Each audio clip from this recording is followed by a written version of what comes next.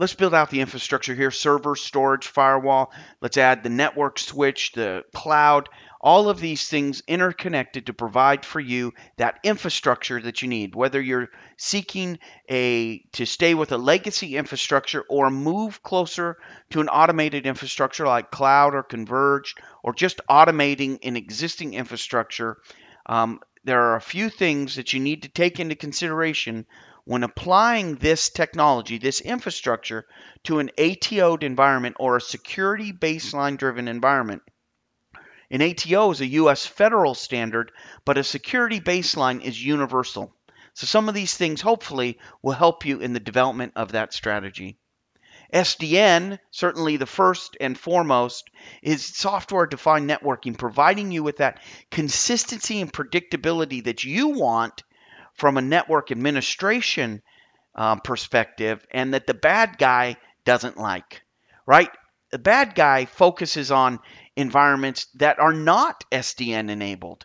He wants those environments where human error play a huge part of the network infrastructure. Remember, the network infrastructure is absolutely the engine that makes everything work inside of the infrastructure. High performance, you want to be able to, I'm sorry, I skipped non impactful expansion. Let's talk about that first.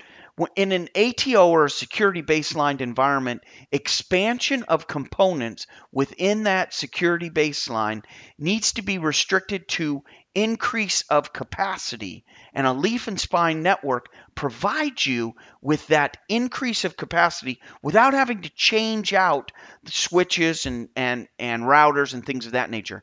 And this is very important in a network infrastructure because the network touches every component of that ATO or that security baseline, almost every component, right? It's reaching the servers, the storage, the clients, the firewall. When you pull out or swap out a network switch, you have to redo all of the security controls related to that instance, that new switch or that new router or that new leaf or spine. So build the network right from the beginning.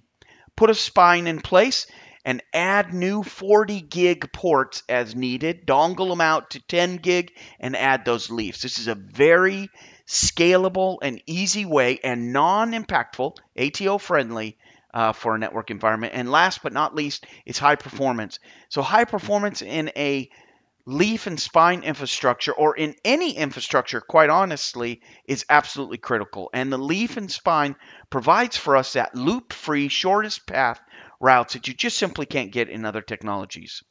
So this is kind of a summary of how to build a a network, an ATO friendly network infrastructure. Some of the key technologies you'll want to review are things like Neutron, for example, which is essentially a northbound SDN API driven environment, as well as other SDN type technologies. If you're running a VMware environment, uh, VMware's NSX, which is the old Nicira code, is a, is a good choice to look at. And if you're running other environments, Nuage is another great solution to look for. So there's lots of options out there.